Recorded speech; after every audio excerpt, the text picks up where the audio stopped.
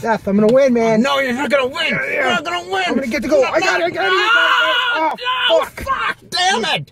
Bam. You've been killed. Oh, shit. You gotta respawn. Oh, fuck.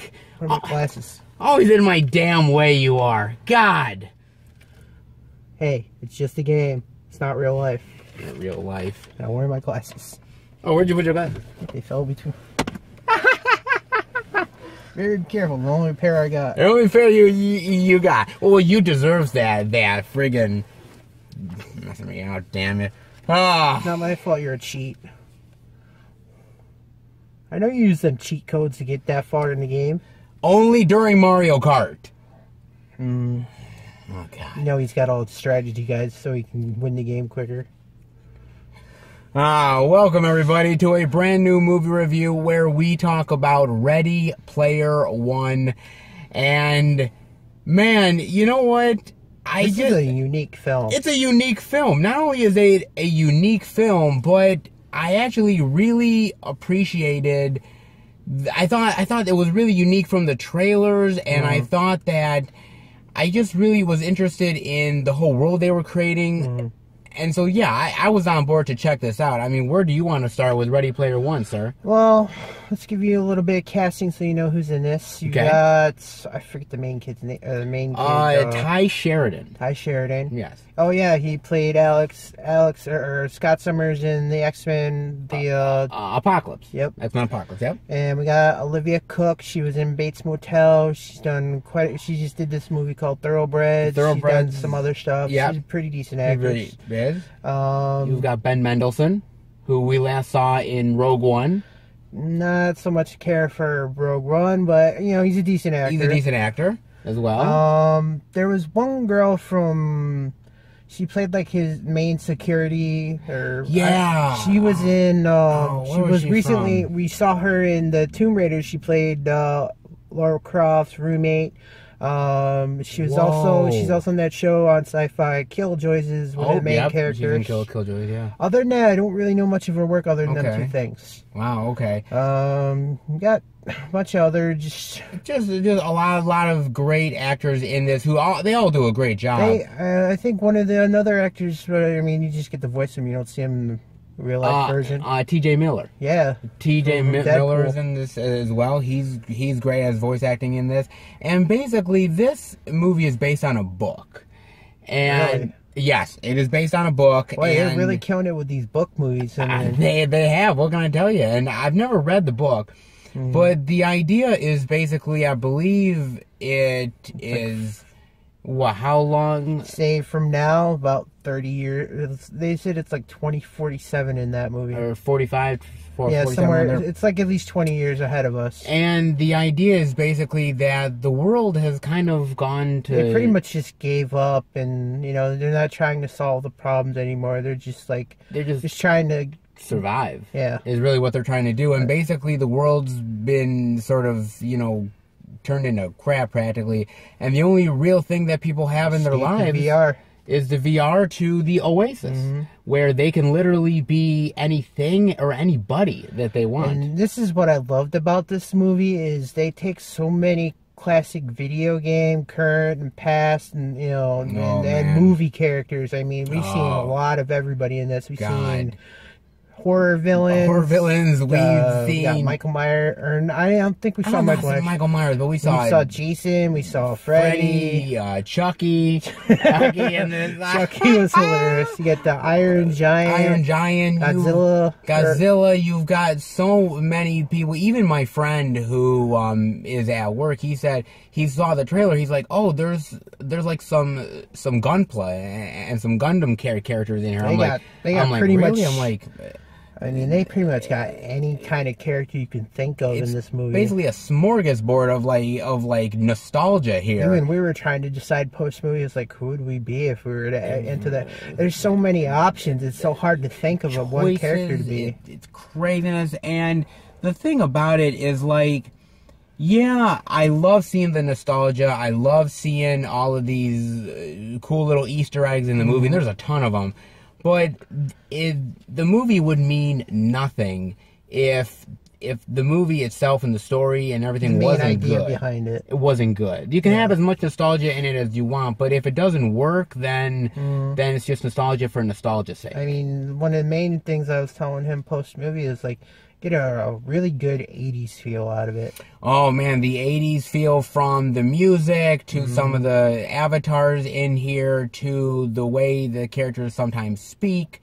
Uh, it de- definitely has an 80s feel to it. And, you know, what I also really loved about the movie is, again, sometimes I have a real problem in movies where it's just like too much CGI and too mm-hmm. much sort of like fakeness. And yeah, there's a lot of fakeness here because it's VR, but I got attached to these characters, man. Yeah. And everybody has their own unique avatar in this movie. Even the, out of the main characters themselves, I mean, they look. I mean, at least for the two main characters, they look a little bit like themselves, but they're like an altered version of what they could have been. Yeah, they're like an, an altered version. But what I love about it is that, again, you escape into this world and. Again, you know, you can meet somebody through the VR world and become friends with them, and yet never know them in a in a Yeah. in a personal way. I mean, you can sympathize to today's world. A lot of people connect through Facebook, and you never know if that person's really who they say they are. Facebook, Twitter, anything like that. In fact, you know, as you and I were talking, really, we're not that far away from technology like this. We're I really mean, we not. already got VR headsets, like AKA what he's got in his hands right now. Yep. I mean, I would, I mean, I would have to say if we're gonna get to that kind of interactive VR, depending on how far they're working on it right now, I'd have to say this time that kind of technology from the movie, maybe within the next ten to twenty years at the earliest. I could see it. I, I could easily see it a lot. And, you know, and really, if you think about it, people escape through their through their phones all the time. So, I mean, the idea that we're not really connecting anymore with Yeah. people on that personal level. And that's sort of the main plot of this movie, between connecting between reality and the VR world. And really, it, it, it talks about humanity. The idea that, look, you know, yes, this is a virtual world, and yes, that, you know, you es- escape in some ways, but, you know, you, you, you do this because you want to interact with other people. You Yeah. want to really uh, be a part of a different type of world. And the fact that the world in this movie is being threatened Mm. because basically another company, IOI, I believe it is Yep. called, uh, they want to win this challenge and basically um, destroy the the Oasis. Yeah, Is really basically control everybody by doing that. doing that, and the idea that within this challenge, you basically get three keys, and once you get those three keys, you control Oasis. You control the stock. You control everything like that. And I got to tell you, I thought I thought the um the challenges were really clever. I think for me the best one was the second challenge because Oh, you really like that? yeah because you go through a classic horror film. Yeah, we won't say what it is, but Well, it was can at least give the the name of the book it comes from or Okay. the author. Who did. Yes. It's a Stephen King one. yes. So you know it's gonna be scary as hell. It was oh man, it was fantastic, especially when a character in the movie has never seen that particular movie. And it was just funny as hell. it was so funny, it was so hilarious. And what's great about that again is that, you know, we've seen the movie, we're like, Oh, oh my, oh my God! We know what's gonna happen. Oh my God! And it those was scenes. So I'm like, you know what you're expecting, and this person's like, never seen this movie. Is, is it scary? Yeah, it's like It's oh, a Stephen man. King movie, King so movie. you know it's gonna be scary. Come on. Um, it was it was really it was really fantastic. The challenges I really loved the last one. I thought the last one Yeah. was was really fantastic.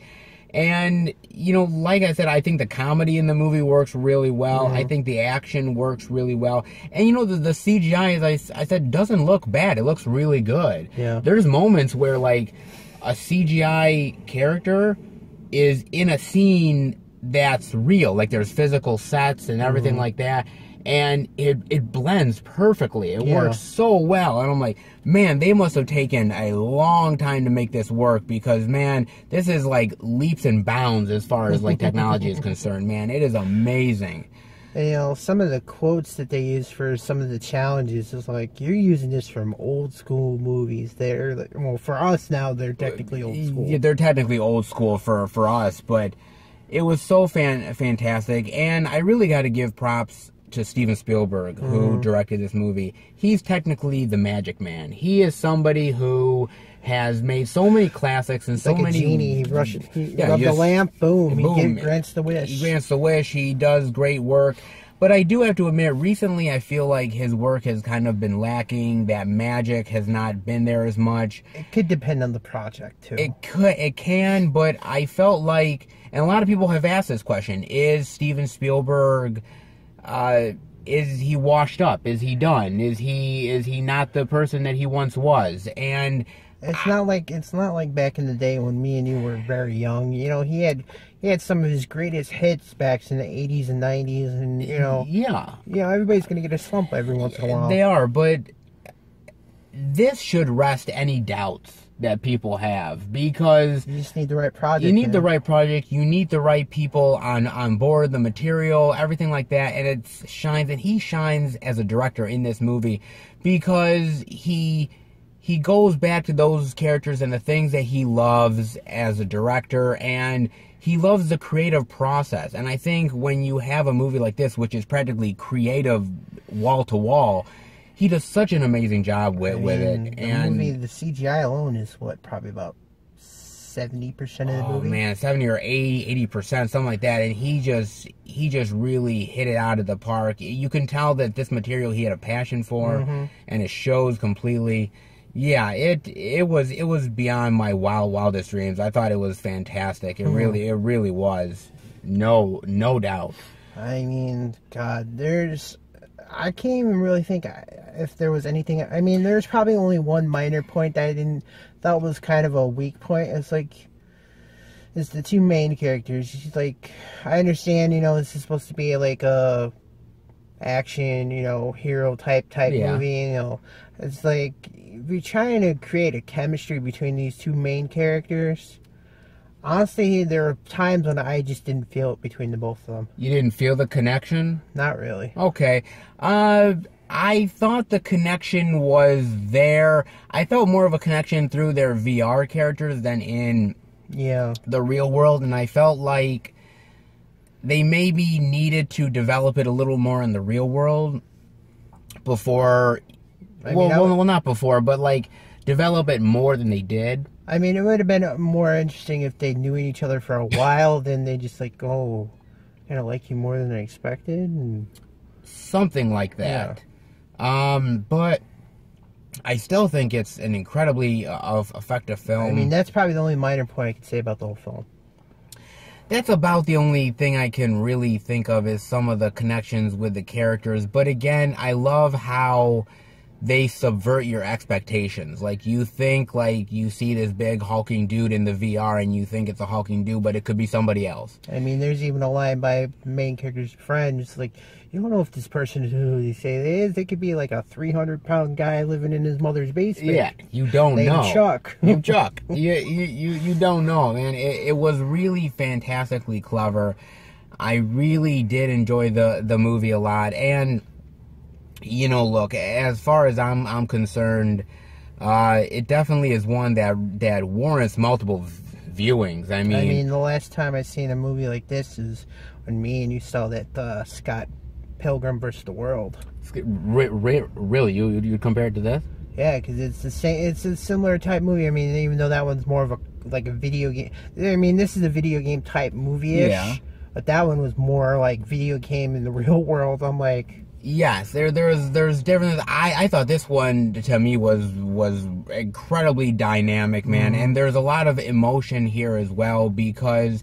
You know, look, I, I'm I'm not gonna lie. At the end of the movie, I'm I'm rooting for the the character of Wade. I'm mm-hmm. rooting for for him. I'm rooting for these characters, and that's a sign of a good movie. If I can if I can root for the characters that I'm invested, that means it's a good movie. well, also I think for me is that they do learn an important lesson in this movie. It don't depend on VR so much. You know, it's not going to solve real life problems. it's not going to solve real life problems. If you want to, you know, yes, you get together with people. Yes, you enjoy Escaping the world. escaping the world and everything. uh, You know, like we see at the beginning of the of the movie, people in their trailers and everything, and just escaping. But that that doesn't mean that the problems of the world go away. That just means that you're high hiding from them. Yeah, and you're just ignoring it, and me, I was like, oh, I can just escape here. My problems are gone for a few hours. Yes, and to me, the movie has a great message of fight for what you believe in, fight for what you mm-hmm. love, but also, you know, humanity is precious, and we we need to come to, together to solve the problems. I like that message a lot. It's a great message. oh, it's a fantastic message. I mean, do you have any other thoughts and everything before we give our review, sir? Um, Other than doing rev- my review, I'd have to say one of the best parts of the movie is the giant, you know, great battle scene near the end. Oh, yeah, I love it. You have so much stuff in there.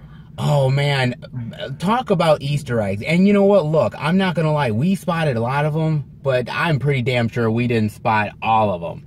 There, the movie, you know, the, you got a massive battle scene, and you just see like, oh, you go from the VR to the real world. It's like, oh, oh, I got killed. I got to go back and respawn. Yeah, like like they're like they're like oh, and they're like oh, oh they like Well, I, I could have swore I was thinking like half of them were saying, "Son of a bitch, son of a bitch." yeah, I know, man. It's such Uh. like I said, video games are thrill rides, you know, just as they are now. This is just uh, turning it up to another level, and it's a level that I, I would imagine if we get to that technology, I people aren't going to work. Try, you know, I I think barely work now. It barely work now. Are you I mean, everybody's on their phones. I'm like, imagine in a real world Facebook where you can interact on on VR. I'm like, you never get people off those damn things. you would never get anybody off, You know, and you know what's another movie that can sort of relate to this? I mean, it's not a video game movie. Is you remember that movie with Bruce Willis, Surrogates? surrogates, yeah, with the with or sort of the reality, uh, Johnny Mnemonic. Yup. Johnny Mnemonic, stuff stuff like like that. Uh, I guess you could say a, a tiny bit. It's not really because this one goes in sort of like supernatural type thing. Was Lawnmower Man? Oh, Lawnmower Man, yeah. I don't see somebody turning it into a VR god. So No, we won't go Lawnmower Two though. We won't. We That won't do piece of shit. Yeah, we won't do Lawnmower Two. So. No, but no, there's some really great sort Oh, of yeah. VR style movies, and this definitely is one of, as far as I'm concerned, the better ones. But uh, what are your final thoughts and grade rating on Ready Player One? Well, like I said, I mean, we pretty much laid most of the points out while we were talking about this. I Yeah. mean, like I said, the only thing I thought was the minor thing was the character chemistry between the two main characters. Yeah. I thought it was funny when you do see his friends' avatars, or not their avatars, but the real life versions of them. He's like, "You're you're not what I was expecting. I was expecting like a six foot eight guy, you know, muscle bound." I'm like. No, no. I mean, I won't spoil what the characters are, but it's just like you're gonna be like, it's like, is that really you? yeah, like I, I, I love that. Again, that's that's the subverting expectations that I love. But uh, I mean, I, I thought it was a pretty good movie. I mean, hell, I might just go see this again tomorrow by myself. Um, I do recommend it. I mean, there was almost other than that thing I said about the main two characters chemistry. I have to give this one uh, probably a solid A minus. Wow, man. Okay, you're Well, going. I mean, the real thing maybe was all the avatars you get to see in the movie. I'm like, oh my god. It's so it's so cool, man. It's so cool. Some of those avatars, I tell you. Uh, you know, for me, look, as I said here in the review, I thought the CGI was really fantastic. I got to root for the characters and actually love the characters. I thought Spielberg was really invested in this, and he's really back in a big bad way. Uh, you know, for me, this is easily, I think, a a high A minus. I agree with you. Wow. I think that again, a little bit of the connection with the characters is slightly lost, but again, those are minor points. And overall, the movie's a blast and it's a joy to watch. We were in the theater; people were enjoying the movie like hell. And yeah, it's it's a thrill ride. Easily, easily see it more than one time. Absolutely, yeah. So no doubt. But um, yeah, I'm gonna try to get the key now. So I'm gonna. I, I at least you're not in my way because I really. I could just take you out in the real world. But you wouldn't do that. Would I? Oh, jeez. God, you gotta be a killjoy, don't you? Yep. Better you better hope I don't send an Easter egg in that movie. Or in that VR game. You never finish it. No kidding. I I, I suck at Mario. Uh, He can't beat Mario, he can't beat more advanced games. sorry guys. He'd be there 10 million years trying to get past level 1. King Koopa's tough, man. What can I tell you? oh, all right, guys. I hope you enjoyed the review. If you did, definitely give it a thumbs up. And we will be back next time for another movie review with less cool VR. Because Don't forget your coins in the game. you, you, you're damn right.